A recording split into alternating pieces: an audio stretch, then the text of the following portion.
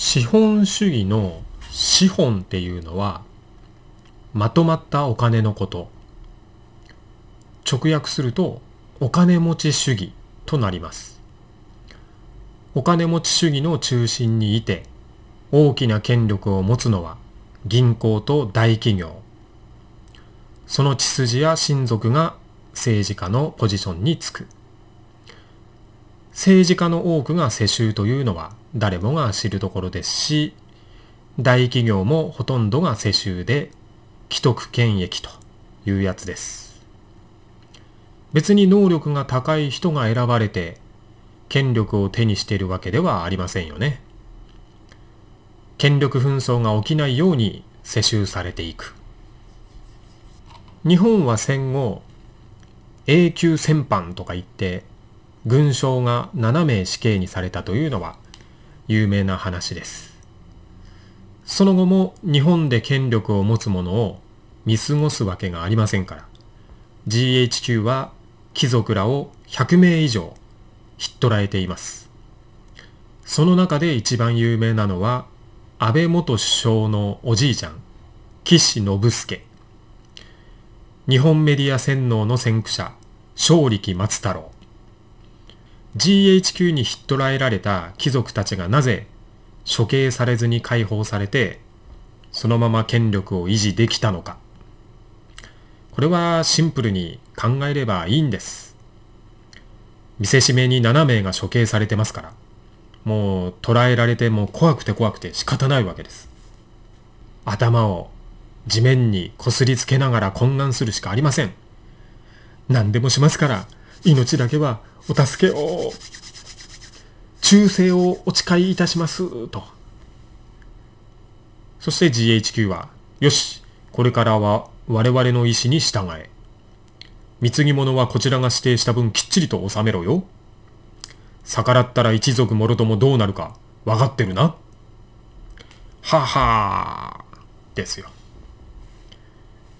こうやってアメリカに忠誠を誓うことで釈放されて売国土の道を余儀なくされましたその貴族らの利権が世襲されていき今もなお主君であるアメリカ様の命に従うしかない大企業と政治家がこの国の一大勢力というわけです。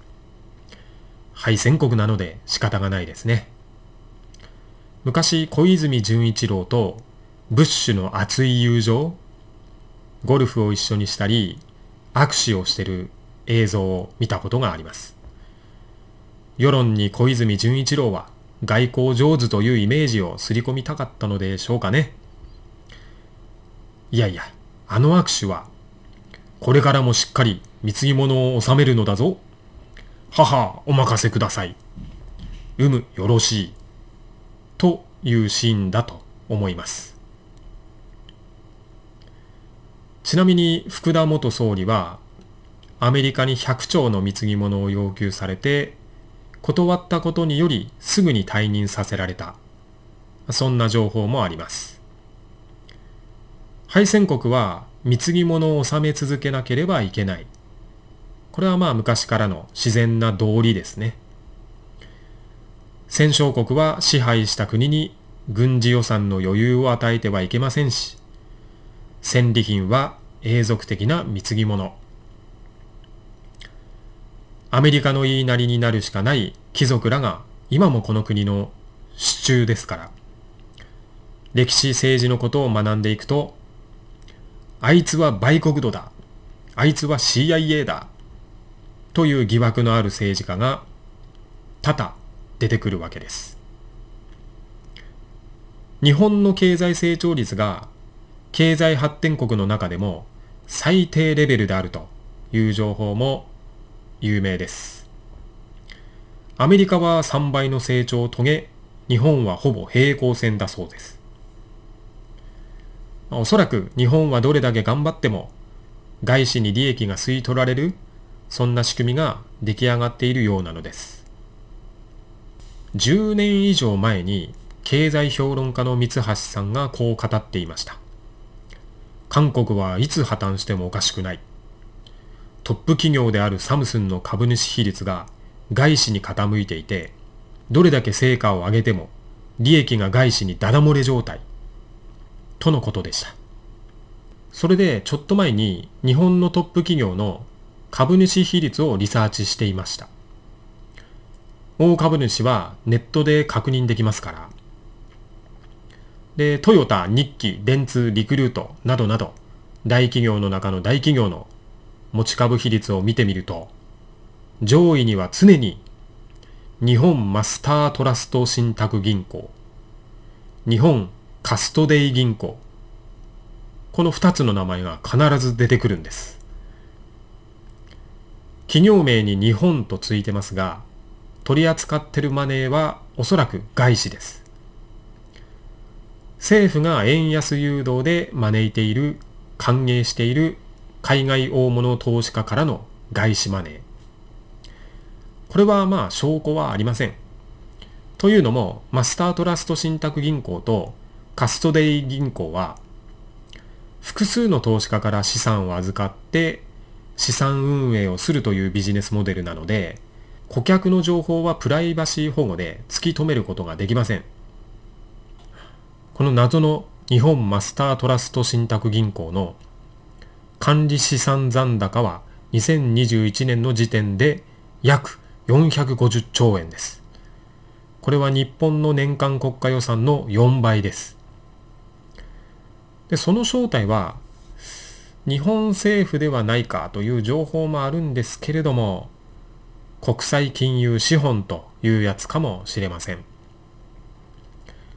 日本の大企業も軒並み何者かに牛耳られていて、韓国に続き日本も乗っ取られている感があります。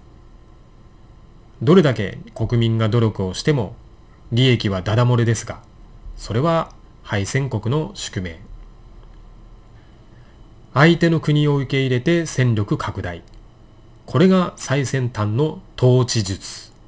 アメリカが推し進めている資本主義は、実は国同士で経済的競争をさせて、その利益を吸い取るという仕組み。それが本質的なところではなかろうかと思っています。属国に自由を与え、希望を与えた上で、重い税を課して強制労働させ利益を吸い取る。まあ、昔のようにね、奴隷にして鞭を打つ野蛮なやり方と比べると、上品な支配のやり方で、まあ、今の国民にとってはありがたいんですけれども、なんかまあその、そのやり方の方が効率がいいということが進化を遂げた帝王学の中に存在するのでしょう。アメリカの実効支配を受けている日本、韓国、台湾、オーストラリアなどなどは経済植民地になっている。それが現状だと考えています。ということで今回話した内容はすべて想像上の仮説でフィクションです。この手のね、脚本を考えるのは楽しいので、続編もあるかと思います。事実は小説よりも木なり。現実に起こる出来事は、作られた物語の中で起こることよりも不思議で面白いもの。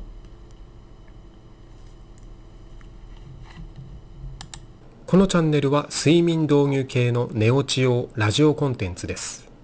動画には余計な編集は一切しません。必死に早口で話したりしません。落ち着いて聞けるものを目指しておりますずっとディスプレイとにらめっこで目の休息が足りていないこのネット社会目の休息中にも聞いてるだけで学べるよう情報を発信していきます。健康予防医学、ビジネス、人間心理、精神論、哲学といったテーマが中心で、受け売りの知識ではなく主観満載、我の強い個性的な内容になるかと思います。こうご期待ください。